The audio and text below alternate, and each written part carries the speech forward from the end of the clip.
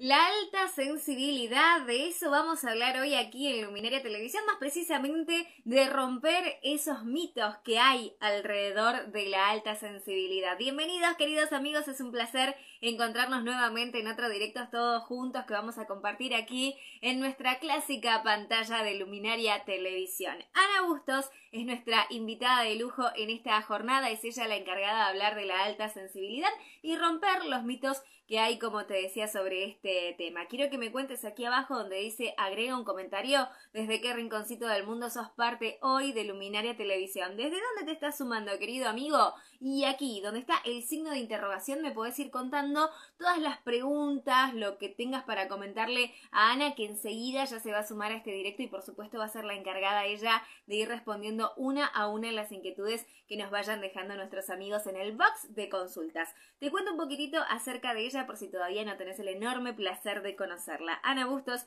es coach emocional especializada en acompañar a personas con alta sensibilidad para subir su autoestima y bajar su estrés ansiedad. Y va a estar aquí con nosotros. Vamos saludando a toda la gente que se va uniendo a este directo. Creo que ya está, sí, ya está Ana. Qué lindo, me encanta cuando es así, cuando nuestros eh, invitados ya están ahí en la sala de espera, como me gusta decirle a mí, para unirse al directo. Bueno, la alta sensibilidad, de eso vamos a hablar. Ana, bienvenida, ¿cómo estás? Mucho gusto. Hola, ¿qué tal? Bueno, pues aquí encantada de estar con todos vosotros. Muy bien, muchísimas gracias por haber aceptado nuestra invitación, la invitación de Luminaria Televisión para sumarte y compartir tus conocimientos con nosotros. Te pido si podrás bajar un poco la camarita, así te podemos ver impecable, ¿sí? Porque viste que nos preguntas, que nos consultas, y entonces cuando las tenemos que eh, marcar, digamos, para que queden allí, que se puedan leer, bueno, te vamos a tapar un poquito. Ahí creo que está un poco mejor. Bueno, Ana, a ver, empecemos por el principio. ¿Por qué es que elegiste este tema? Y también para aquellos que por ahí es la primera vez que escuchan hablar de este tema, ¿cómo podrías vos definir la alta sensibilidad? Pues bueno, eh, me encanta que me hagas esa pregunta, Cecilia, porque es algo que da lugar a, a confusión y a muchas dudas. ¿Qué es la alta sensibilidad? Pues bueno, la alta sensibilidad es un rasgo de personalidad que tenemos, y hablo en tenemos porque eh, luego ya explicaré por qué me he enfocado en, este, pues en, esta, en este rango de personalidad, tenemos entre un 15 y un 20% de la población. ¿Qué significa? Pues que la información que recibimos a través de los cinco sentidos, de la vista, el olfato, el oído, el gusto y el tacto, la recibimos de una manera mucho más completa y más profunda que el resto de la población. Y además, em, esa sensibilidad está relacionada con eh, los, los estímulos externos. ¿Qué quiere decir esto? Pues que captamos mucha información a la par de manera consciente e inconsciente de una manera más profunda, más completa y de una forma más sensible. ¿A qué se debe esto? Pues mira, este rasgo de personalidad lo dio a conocer en los años 70 la doctora Helen Aron. Helen Aron evidentemente era también altamente sensible, es, y empezó a estudiar este tipo pues, de, de, rasgo que ella tenía y que empezó a ver pues, que otras personas también tenían. Durante cinco años estuvo haciendo pues una investigación con pruebas científicas, pues a través de escáneres en la cabeza, en el cerebro, y observaron que las personas altamente sensibles son así. ¿Por qué? Pues ahora viene lo bueno. Porque nuestro sistema neurosensorial, es decir, nuestro sistema nervioso y nuestro sistema sensorial, que es el que capta la información a través de los cinco sentidos, es más finito. Entonces, eso es lo que explica que la información la captemos de una forma más profunda y completa y con una mayor sensibilidad. Bien, ¿y cómo sabemos, hay alguna manera de, saber justamente si somos más sensibles que el resto de las personas o no, Ana? Claro, claro que sí, claro que sí. Bueno, eh, yo en concreto lo descubrí después de, bueno, de un trabajo de autoconocimiento em, de, mucha mirada hacia adentro, de mucho acompañamiento a la par, que me iba formando pues en, coaching social, emocional, en herramientas de autogestión emocional. Eh, a la par que lo iba estudiando, yo me iba haciendo trabajos personales. ¿Y cómo, cómo puedes eh, darte cuenta, como fue mi caso? Yo me di cuenta porque yo escuché hablar a una persona y según hablaba esa persona, yo me sentí totalmente identificada y yo decía, madre mía, si es que parece que estoy hablando yo. Mira, este rasgo tiene cuatro pilares y los cuatro pilares en los que eh, son como cuatro patas que es común a todas las personas altamente sensibles. ¿Cuál es? Primero, ese procesamiento profundo de la información de manera consciente e inconsciente. ¿Qué sucede? Que como captas mucha información eh, y la analizas de una forma más completa, más profunda, pues tenemos tendencia a sobreanalizarlo todo, a darle muchas vueltas a las cosas, a entrar en unos pensamientos muy profundos, muy completos. Ese es uno de los pilares, ese procesamiento profundo que te lleva muchas veces a tener pensamientos rumiantes, de darle vueltas una y otra vez, y como yo digo, y la cabeza parece un, circo, y una vuelta y otra vuelta, y te montas unas películas que ni Spielberg, vamos. Ese, ese es el primer pilar.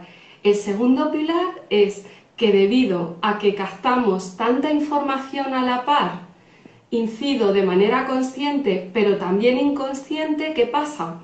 Pues que nos sobreactivamos con tanto estímulo externo. ¿Qué pasa? Que al sobreactivarte entras en, una sobresaturación, para que se entienda mejor, y tienes mucha más tendencia a entrar antes en estrés y en ansiedad. Segunda, segundo pilar, te sobresaturas y llegas antes al estrés y a la ansiedad antes que el resto de población. Tercer pilar, tenemos una alta respuesta emocional y somos muy empáticos. ¿Qué quiere decir esto? Pues que em, vivimos las emociones, a ver, voy a poner positivas y negativas por catalogarlas, pero a mí no me gusta llamarle ni positivas ni negativas porque las emociones son adaptativas y siempre tienen un fin detrás. Entonces, toda emoción que tenemos nos sirve para adaptarnos a una, situación. Pero bueno, para que se entienda mejor eh, y poner esta etiqueta de positivas y negativas, tanto las emociones positivas como las negativas las vivimos de una forma muy intensa, es decir, estamos en una montaña rusa de emociones. Igual estamos arriba que estamos abajo. ¿Qué pasa? Pues que mm, al vivirlas de esa forma tan intensa, em, tenemos también, la unimos a la alta empatía que tenemos, que ¿por qué tenemos esa alta empatía? Pues porque percibimos detalles, que es la siguiente pata, el siguiente pilar de este rasgo, percibimos detalles que nos hacen ser muy empáticos con el otro, es decir, detectar muy bien sus estados emocionales y sus necesidades. Luego explicaré que todo esto es un don si lo sabes gestionar, pero es una cruz como un camión si no lo sabes gestionar. Y ahora explicaré por qué. Bien. Entonces, ¿qué sucede? Que como estás con las emociones, que las vives tan intensamente, tienes tanta empatía, pues puede llegar un momento en que te sobresatures y tengas una alta respuesta emocional, es decir, que seamos reactivos emocionalmente, que reaccionemos ante una emoción de cara a los demás de una forma más intensa porque entras en estrés, entras en ansiedad.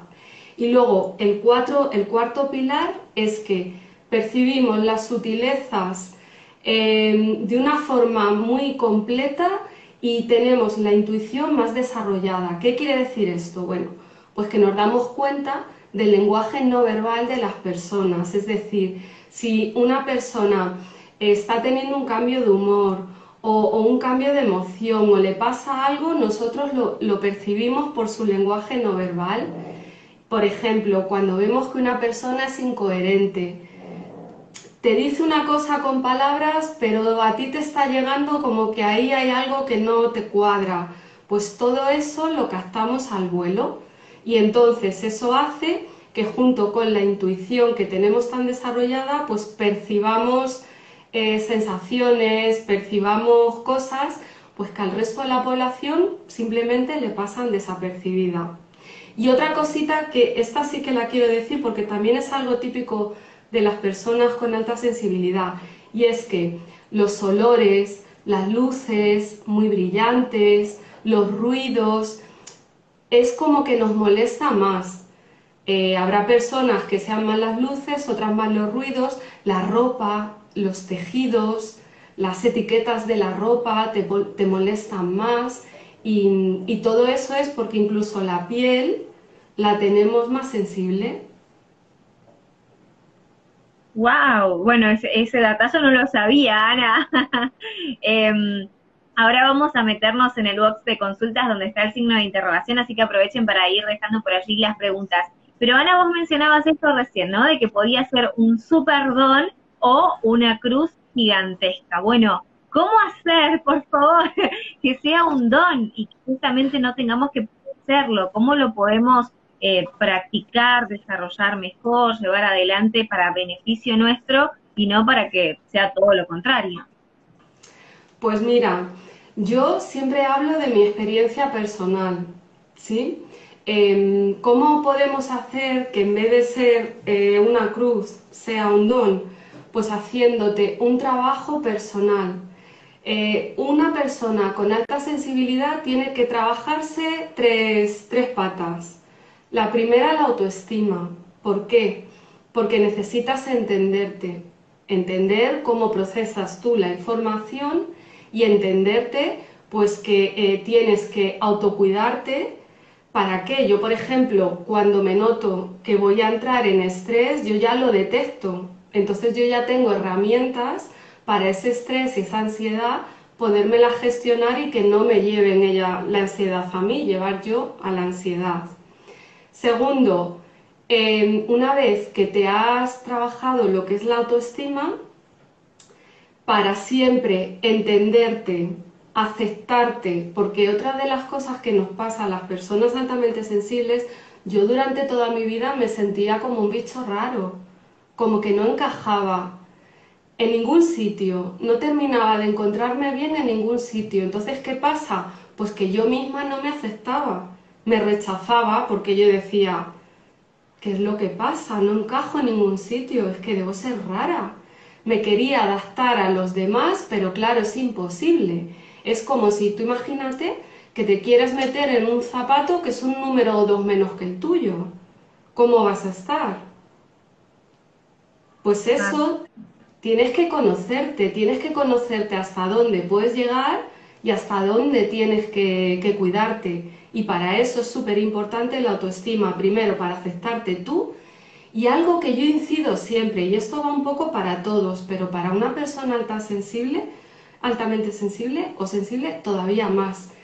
La primera relación que tienes que trabajar es la que tienes contigo. Y a partir de ahí, relacionarte con los demás. ¿Qué sucede? Que nos lo enseñan justo al revés. Queremos relacionarnos bien con los demás y luego con nosotros no sabemos relacionarnos. Una persona altamente sensible, lo primero, primero, primero que tiene que aprender es a llevarse bien consigo misma. ¿Cómo se hace eso, Ana? Solución, por favor.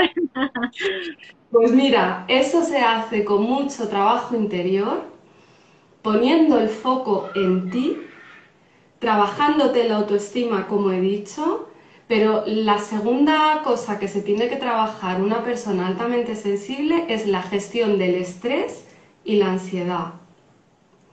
Y la tercera pata que tiene que trabajarse una persona altamente sensible es, ya sé que soy altamente sensible, ya sé que me tengo que autocuidar, que tengo que subirme mi autoestima porque eh, según me relacione yo conmigo, me voy a relacionar con los demás Y tercero, no se me puede olvidar nunca, nunca, nunca que yo soy altamente sensible y que yo proceso la información de una forma distinta al de la mayoría de las personas.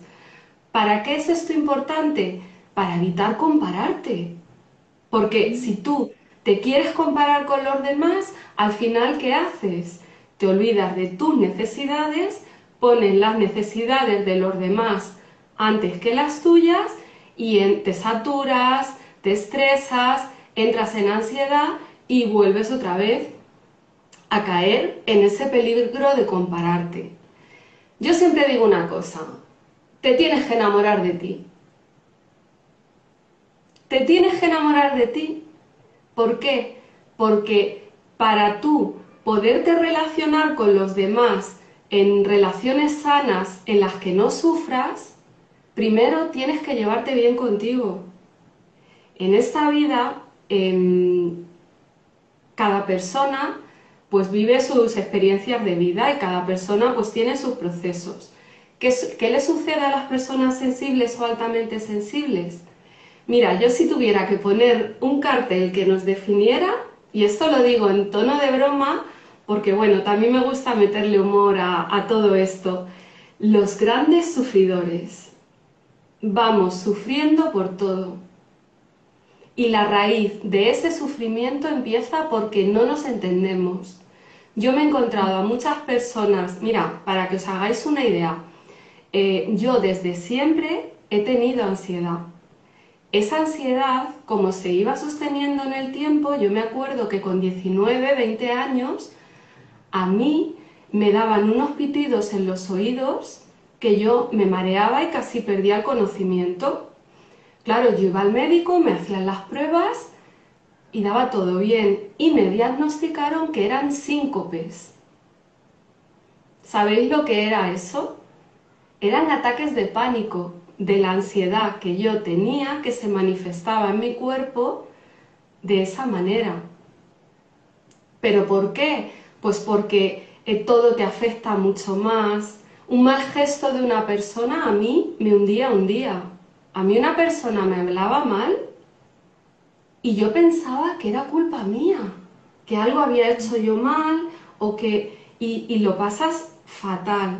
En los entornos laborales, la alta sensibilidad y los entornos laborales que son con mucha presión, con mucho estrés, se pasa fatal. Y yo aprendí con todas estas herramientas de autoconocimiento a sufrir menos y ese es mi objetivo ¿Por qué yo me enfoqué, que me has hecho esta pregunta al principio, por qué me he dedicado y me dedico a acompañar a personas con alta sensibilidad? Porque yo soy altamente sensible. Y si todas estas cosas le viene bien a todo el mundo, porque es verdad que el autoconocimiento, la autogestión emocional, la gestión del estrés, de la ansiedad, a todos nos viene bien, para una persona altamente sensible es vital para que sufra menos, yo, en mi caso, tengo un antes y un después. Cómo yo me tomaba la vida antes y cómo me la tomo ahora. Y sufro, os lo puedo garantizar, que sufro mucho menos y soy más feliz. Pero claro, sabiendo gestionar el rasgo, porque si no lo que decía antes, era una cruz como un camión. Sin embargo, tiene cosas tan bonitas, pero te tienen que acompañar a que tú las descubras y que te enseñen a entenderlas.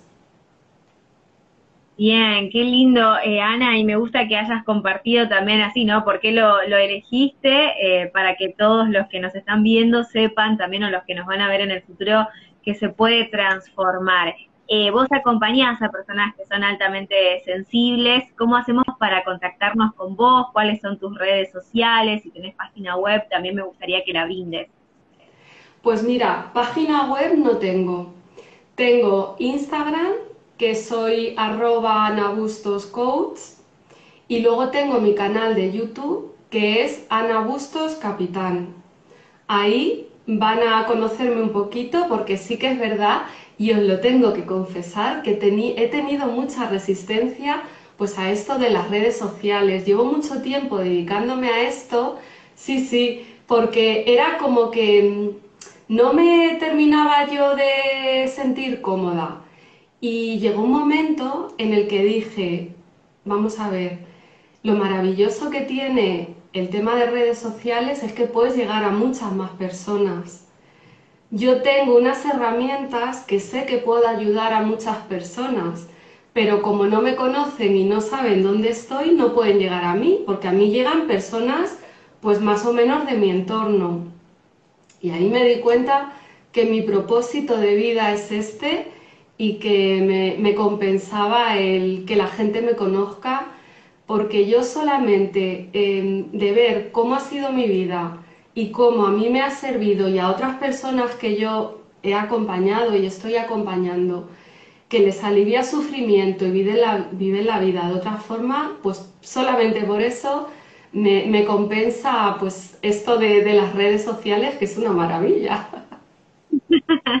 Sí, a, todo el mundo se puede llegar afortunadamente, bueno, con las nuevas tecnologías, ¿no? Estas redes sociales que nos conectan más allá de que estemos tan lejos y en este caso de que sean una herramienta tan útil para ayudar a alguien que tal vez, como vos lo decías, la puede estar pasando muy mal. Eh, ¿Cómo sería una sesión, Ana? Por ejemplo, si en mi caso me doy cuenta, descubro que soy altamente sensible, eh, me contacto con vos por las redes sociales, se puede hacer una entrevista, digamos, o una sesión eh, personal o virtual, ¿cómo te manejas con eso? ¿Cuál es la duración? Digamos, es un proceso, vos lo decías, pero en tu experiencia, ¿cuánto más o menos lleva para, la que, para que la persona lo pueda comprender y entender?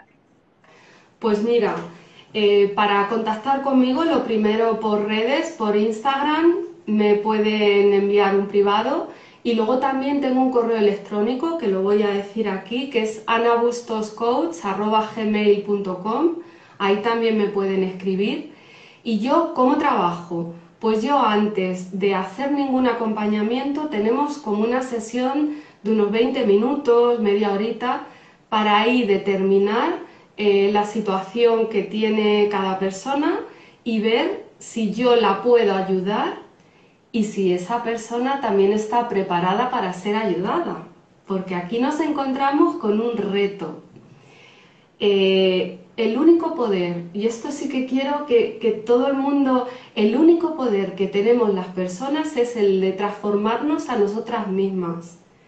Yo ni nadie tiene poder de cambiar a los demás, pero sí tenemos el poder de cambiarnos a nosotros mismos. ¿Qué sucede? Pues que esto requiere de un trabajo personal. Es decir, eh, en la vida vamos a pagar siempre un precio por algo. O vamos a pagar un precio por un esfuerzo tanto económico como en tiempo, como en trabajo, para poder cambiar y dejarnos ayudar. O yo, hay una frase que me encanta, que es, o vamos a pagar el cómodo precio a cómodos plazos de sufrir toda la vida. ¿Quieres pagar los cómodos plazos de sufrir o quieres de verdad solucionar lo que te sucede? ¿Qué precio quieres pagar? Al final, somos el resultado de nuestras elecciones. Entonces yo en estas sesiones que hago, que son gratuitas, porque es para determinar en qué momento está esa persona, si está preparada para avanzar o si no lo está, y si en esa sesión vemos que está preparada para avanzar porque realmente está comprometida consigo misma y quiere hacerse un trabajo personal, yo la acompaño y yo trabajo con procesos. Es decir, puedo hacer una sesión, pero evidentemente esto es como si tienes una muela picada y vas al dentista, pues tienes que hacerte varias sesiones para que esa muela te la reconstruyan o vas al fisioterapeuta, tienes una lesión en un hombro y tienes que ir varias veces. Con una vez vas a ir y bueno, sí, vas a encontrar una mejora, pero no te lo va a solucionar. Entonces, luego el proceso personal de cada persona depende según el estado, el nivel de conciencia que tenga cada persona, si se ha trabajado antes, si no se ha trabajado, eso lo vamos viendo y lo vamos pactando. Y como yo trabajo, yo trabajo con el autoconocimiento, trabajo con unas herramientas de, gestión emocional, de liberación emocional, eh, tapping, que también se conoce por EFT, y también trabajo eh, con Hoponopono, que para mí son herramientas de liberación emocional que a mí me han ayudado a cambiar mi percepción y trabajo junto con el coaching. Trabajo los tres pilares que os he dicho antes, la autoestima, la gestión del estrés y la ansiedad y luego el que no se te olvide nunca que tú tienes ese rasgo, pero no lo he dicho al principio, es un rasgo de personalidad, no es ni, ninguna patología, ni que tenemos algo mal, no, simplemente tú procesas la información de otra forma, ya está. Bien, bien, bien, bien. Bueno, me quedó clarísimo. Entonces, Ana, gracias eh, por ahí explicarnos bien cómo sería. Vamos a meternos un ratito en el box de consultas donde está el signo de interrogación. Todos los que quieran preguntar, aprovechen para dejar su pregunta por allí. Eh, acá Roberta dice, ¿es lo mismo que las personas paz? Bueno, tal vez llegue un poquitito más tarde, ¿no? No sé si lo querés comentar breve para la gente que se unió ahora. Sí, bueno, mira, es lo mismo eh, que las personas paz. Lo que pasa que luego lo que es en la sensibilidad eh, hay grados. Hay personas que, que son sensibles y también las acompaño y hay personas que son altamente sensibles, unas más y otras menos, pero sí, personas altamente sensibles es lo mismo que a lo que yo me dedico, que es acompañar a personas con alta sensibilidad. Bien, bueno, ahí está Roberta, muchas gracias por dejarnos tu pregunta en el box de consultas donde está el signo de interrogación. Aprovechen para eh, eh, preguntar por ahí. Y contra eh, el estrés y ansiedad, sufro de eso y soy muy sensible, todo me causa ansiedad nos dice Pati Granada. Bueno, ¿qué le podemos comentar? Pues que es un rasgo muy típico en las personas con alta sensibilidad, estamos en tensión siempre. Sufrimos por nosotros, sufrimos por los demás, sufrimos por todo. Como nos queremos adaptar al otro 80% de la población que procesa de otra manera, ¿qué pasa? Que nos olvidamos de nuestras necesidades y al final estamos como haciendo un papel haces un papel para quererte adaptar y eso te desgasta. Y luego, como te entra tanta información, pues por eso también entras en estrés. El estrés y la ansiedad hay que trabajárselo. Eso eh, hay herramientas para trabajarlo cuando ya tienes lo que es la ansiedad en tu cuerpo. Pero también cuando hacemos ese proceso de autoconocimiento y empiezas a interpretar lo que te sucede a tu alrededor de otra forma, tus niveles de ansiedad y de estrés también van bajando. ¿Por qué? Porque ya empiezas a tomarte las cosas de otra manera. Ya no te las tomas tan a pecho como se suele decir aquí en España. Ya un poco como que tomas distancia y aprendes que hay otra forma de interpretarlo. ¿Por qué? Porque según tú interpretes una situación, vas a generar una emoción u otra que te va a llevar a comportarte de una manera y de otra. Luego, cuando tú te conoces, empiezas a autocuidarte. Es decir, yo, en mi caso, cuando yo percibo que estoy saturándome, lo que hago es que me voy. Estoy a lo mejor en un sitio y veo que me estoy sobresaturando, como yo me quiero y yo me cuido, pues oye, pues a lo mejor me tengo que ir antes de los sitios que otra, las personas que no son altamente sensibles, bueno, pues como lo sé, lo hago y todo eso te va a ayudar a que tu estrés vaya bajando. Pero os quiero regalar em, un ejercicio súper sencillo que esto lo podemos hacer todos y es que aquí, no sé si se me ve el pecho, Cecilia. Le agradecemos a Pati le agradecemos a Patti y sacamos su pregunta, ¿sí? Todos los que quieran preguntar en el box de consultas. Ahí sacamos, así te podemos ver bien.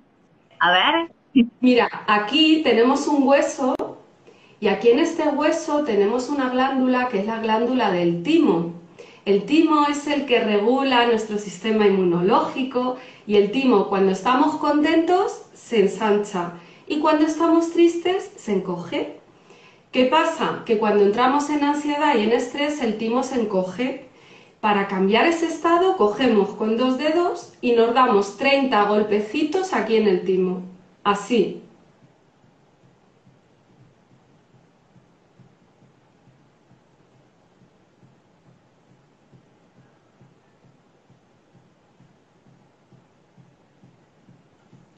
Con estos golpecitos hemos activado el timo y os va a hacer que os sintáis mejor, que el cuerpo te cambie, porque al final las emociones, la ansiedad es, es una emoción, al final es un miedo que hay ahí debajo y las emociones desde el cuerpo también se trabajan. Pues este ejercicio tan sencillo lo podéis hacer las veces que queráis y, cuando queráis. Me encantó. Gracias para todos, ¿no? Porque vos lo decías, no es solamente para las personas que son eh, altamente sensibles, sino para todos sirve. Cuando estamos viendo ahí una, una situación de ansiedad, 30 golpecitos en el timo y con eso ya bajamos, relajamos. Sí, sí. Y otro ejercicio también que es muy poderoso y son cosas muy sencillas es ponerte las manos en tu corazón, cerrar los ojos y sentir los latidos en tus manos. Siente cómo el corazón late. ¿Lo sientes? Sí, tranquiliza. Este claro. ¿Por qué? Porque no estamos acostumbrados a hacerlo y cuando tú te... Este ejercicio de los latidos es conectarte contigo misma. Y también te sirve para la ansiedad, para cuando sintáis un miedo, para cuando estéis así un poco con ese estrés, pues es súper sencillo y también se puede hacer fácilmente. Claro, baja, bajas mil, eh, mil revoluciones diríamos acá. bueno, ahí Patti nos dice gracias. Vamos a meternos nuevamente en el box de consultas. Ana, rapito, que nos queda poco tiempo, donde está el signo de interrogación. Los que quieran preguntar pueden dejar por allí. Eh, acá nos dice, em, bueno, la cuenta es Princesa Anger. Eh, ¿Cómo trabajar mi inseguridad y miedos? Ana, gracias. Pues mira, me encanta que hagas esa pregunta porque una de las emociones que tenemos más las personas con alta sensibilidad es la emoción del miedo. El miedo es una emoción que está muy presente en las personas sensibles. Miedo a equivocarte, miedo a hacerlo mal, miedo a decepcionarte, un montón de miedos, a decepcionar a otras personas. Entonces el miedo va de la mano de la inseguridad. ¿Cómo se trabaja el miedo? Pues mira, el miedo es una emoción que para empezar las emociones todas son buenas porque todas nos sirven para algo. Y os pongo un ejemplo. Si yo, esta entrevista que estamos haciendo, evidentemente, yo me la he preparado. ¿Por qué?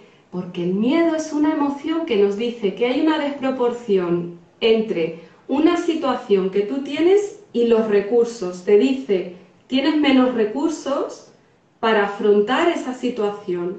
Entonces, si a mí me hubiese aparecido el miedo, ¿Qué me hubiese querido decir el miedo? Oye, Ana, tienes que prepararte esta entrevista porque la ocasión lo requiere. Yo me he preparado esa entrevista y a partir de ahí, mirar, esto es algo que yo he aprendido. Cuando tú haces tu parte, lo demás va a salir como tenga que salir. Yo, por ejemplo, hoy en esta entrevista, yo decía, yo voy a dar todo de mi corazón. Me la he preparado, con lo cual los recursos los he equilibrado. Voy a hablar desde el corazón, con la intención de ayudar. ¿A qué le voy a tener miedo? El miedo es una emoción primaria y nuestro cerebro reptiliano nos avisa de un peligro. ¿Qué sucede? Pues que antes, cuando las cavernas y todo eso, claro, si venía un león a por ti, el miedo que te hacía que salieras corriendo o lo enfrentaras. Pero actualmente tenemos que diferenciar que hay dos tipos de miedo. Un miedo real, oye, si yo voy andando por la calle y veo que hay un, hoyo, el miedo me dice, Ana, ten cuidado que te vas a caer. Pero luego tenemos los miedos psicológicos, en los que tu vida no está en peligro, entonces, otro ejercicio que os planteo, y en este caso para, esta amiga que pregunta, la próxima vez que sintáis miedo de algo, cogeros una hoja de papel y dibujar la cara del miedo. ¿Cómo sentís ese miedo? lo que os salga, en el folio lo que os salga. Y cuando hayáis dibujado a vuestro miedo, conversar con él. A ver qué os dice. Y os vais a sorprender, porque la intención del miedo es ayudarte. Claro, claro. Bueno, ¿y cómo sería ese, esa conversación? De, de todas maneras va a salir lo que uno sienta en ese momento, ¿no? Pero ¿por dónde empezamos, Ana? ¿Le hacemos una pregunta? ¿O por qué viniste a mi vida? ¿O por qué en este momento? ¿Qué es lo que me querés decir? Mirar, hay una frase clave. ¿Qué me quieres decir? Porque las emociones siempre traen un mensaje. Y es preguntarle, ¿qué me quieres decir? Yo te quiero escuchar. Y es, una, te faltan recursos para algo. Aquí tenemos que diferenciar porque muchas veces, y esto es algo que yo también lo, me tengo que parar muchas veces a pensar, ¿por qué? Pues porque hay veces que es la intuición que te está avisando de algo. O es un miedo que te está limitando de algo. Entonces tú tienes que saber distinguir si es un miedo real, es decir, oye, este miedo me está avisando porque tengo que tener cuidado en esto, en esto o en esto. O es un miedo que te está impidiendo que salgas de tu zona de confort. ¿Qué pasa? Que acción mata miedo. Yo cuando estudiaba esto yo no lo entendía. Yo decía, ¿pero qué es eso de que acción mata miedo? ¿Os podéis creer que me costó entenderlo? Pues es muy sencillo. Si te da miedo hacer algo, es porque lo tienes que hacer. Porque detrás de ese miedo están las bendiciones. Detrás de ese miedo tú vas a salir de tu zona de confort y vas a crecer como persona.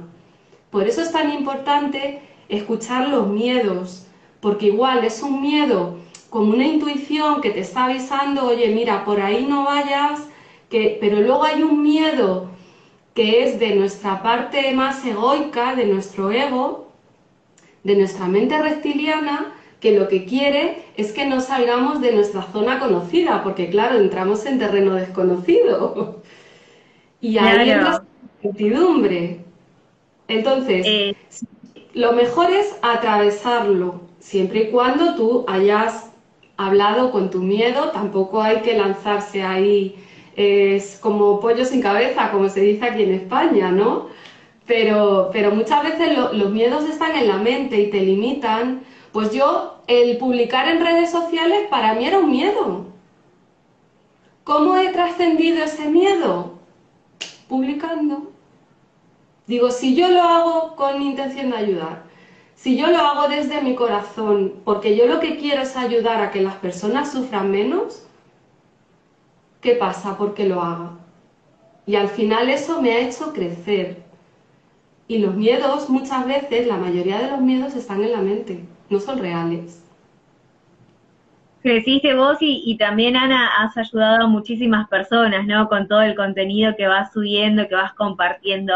Me quedaba pensando en esto que decías hoy del don, de la alta sensibilidad o la cruz, ¿no? Me ahí me dejaste anclada em, y pensaba en eso y ahora lo mismo como que lo llevaba también al miedo, porque puede ser un gran amigo en un punto el miedo si nos ayuda a romper con esas barreras, con esos límites que valga la redundancia, nos están limitando, o bien puede ser también esta cruz de la que hablabas cuando digo, no, bueno, no, me quedo acá porque la verdad que no me animo y ya está, pero es también eh, animarse, como, como lo estabas mencionando. Le agradecemos eh, acá a la cuenta Princesa Sanger, que era la que nos había dejado la pregunta del miedo, estuvo muy, muy buena. Nos vino también encima con un ejercicio para hacer, así que gracias a ella y a todos los que van consultando en el box de consultas. Vamos por acá, em, nos dice Sara con otra pregunta más rapidito.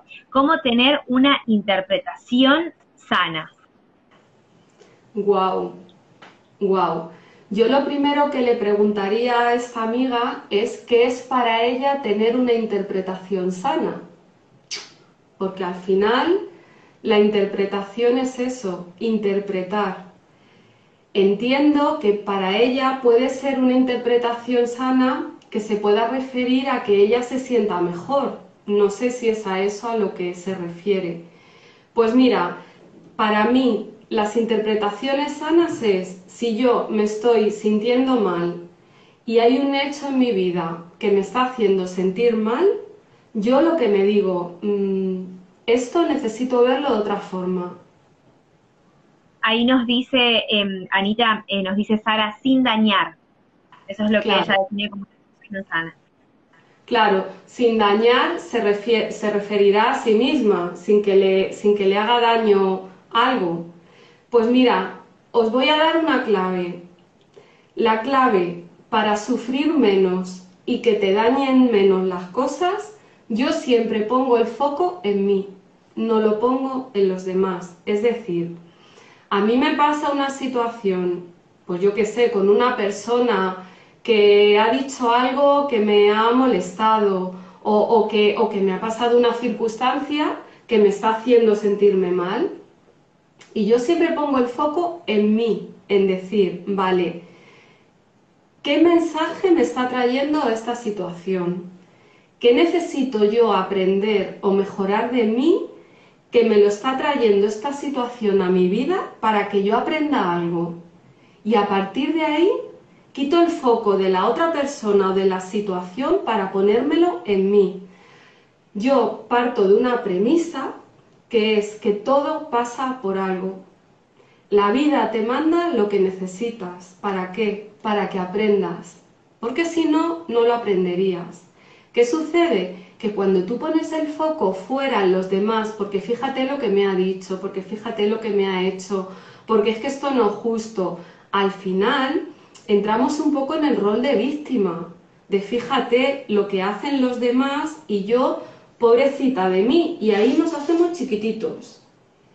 Yo aprendí que el poder está en mí y que si algo me pasa en la vida es porque yo necesito aprender algo. Y entonces me enfoco en el mensaje y en el para qué me está pasando esto. Y empiezo a hacerme un trabajo interior y de verdad el otro día me di cuenta, pues con una persona que me estaba, mm, me estaba, me estaba mostrando emociones en mí que no me estaba sintiendo cómoda. Y claro, la primera reacción es decir, pues fíjate esta persona lo que está haciendo. Eso es humano, es lo primero que nos sale. Pero luego empecé a mirar en mí y empecé a decir, ¿qué me está mostrando? ¿Por qué está despertando en mí estas sensaciones tan incómodas, ¿qué hay en mí que lo estoy viendo en la otra persona? ¿Por qué? Porque las personas es una conocerte a través de los demás es una de las mejores cosas que yo he aprendido. Sufro menos y me conozco más.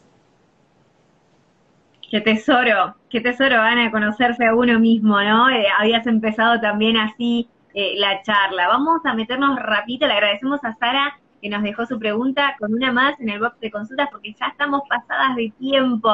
Eh, acá Luis dice, mi hijo es muy sensible a todo. A veces pienso que es un ángel y que no va a poder con este mundo. Bueno, ¿qué consejo podríamos darle, eh, Anita, en este caso a alguien que tiene un chico o em, que tiene alta sensibilidad? ¿Cómo lo puede guiar? ¿Cómo lo puede ayudar? Pues mira, para empezar, uno de los mitos que quiero romper hoy aquí, y me encanta que, haya sacado este, este amigo em, esta, esta pregunta, es que socialmente se asocia ser sensible con ser débil y nada más lejos de la realidad. El mostrar emociones es un signo de fortaleza. ¿Por qué? Pues porque la sensibilidad lo que hace es que te des cuenta de muchas cosas que otras personas no ven, eso es verdad que hay que canalizarlo para que sufras menos, pero mostrarte sensible no es un signo de debilidad. Yo siempre pongo el ejemplo de llorar y las lágrimas. Yo, en mi, en mi, a mí desde pequeña me decían, Ana, es que eres muy sensible. Es que hay que ser más fuertes en la vida. Y claro, yo crecí creyéndome que no era fuerte cuando yo miro para atrás en mi vida, yo he pasado por situaciones que gracias a esa fortaleza hoy estoy hablando aquí con vosotros. Llorar, mostrar lágrimas, mostrar la sensibilidad es una forma de gestionar las emociones. Y eso es un signo de fortaleza. Para mí ser débil es reprimirte las emociones. Yo no soy de dar consejos, no me gustan los consejos, pero sí que puedo compartir cosas que a mí me han servido y que yo he visto que sirven. En el caso de este amigo, que trabaje mucho la autoestima de su hijo. La autoestima es básica trabajarla para que él se entienda y él no crezca sintiéndose que es raro y diferente, porque eso va a hacer que a la hora de relacionarse con los demás, es verdad que las personas altamente sensibles tenemos tendencia a evitar conflictos, a, queremos agradar y ahí como no tengas una autoestima fuerte, sí que es verdad que te va a hacer sufrir, pero no porque seas débil. Entonces, yo a este amigo, ¿qué le recomendaría? ¿O qué le diría? Porque, bueno, luego, mm, si, yo siempre digo, lo que yo digo, si te sirve lo tomas y si no lo dejas. Pues empezar con su hijo desde pequeño a que se conozca, a que no se sienta un bicho raro, a que le haga entender con un acompañamiento o, en fin, yo siempre hablo de acompañamientos ¿por qué? Porque si alguien no te acompaña, pues es más difícil, te cuesta todo más. Cuando yo me hago trabajos personales constantemente, ¿por qué? Pues porque muchas veces tú eh, necesitas que te acompañen.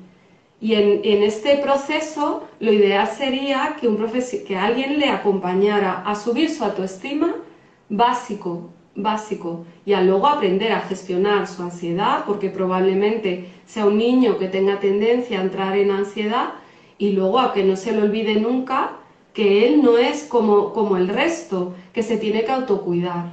Yo es lo que le diría. Ojalá yo hubiese eh, sabido antes que yo era altamente sensible, porque hubiese empezado a trabajarme antes. Bien, bueno, le agradecemos ahí a la persona que nos dejaba, a nuestro amigo que nos dejaba su pregunta en el box de consultas. Eh, Anita, nos pasamos de tiempo, quisiera, bueno, vos decís que consejos no, pero no sé, cerrar como vos quieras este directo, la verdad que estuviste súper clara, fue muy lindo, muy ameno. Me gustaría que nos regales una vez más tus redes sociales, así nos podemos contactar con vos, estas benditas redes sociales, y que por supuesto y que por supuesto también regales, bueno, eh, algún mensajito, vamos a decirle, ¿no? Algo como quiera cerrar. Vale, bueno, pues mis redes sociales, Instagram, arroba Ana Coach, se escribe coach, y en YouTube, Ana Bustos Capitán, y luego en mi correo electrónico, anabustoscoach, arroba gmail.com. Por cualquiera de los tres canales me pueden ver y me pueden contactar. Y luego, ¿qué me gustaría eh, compartir y deciros a todos? Que la mejor inversión que podréis hacer en toda vuestra vida es invertir en vosotros mismos.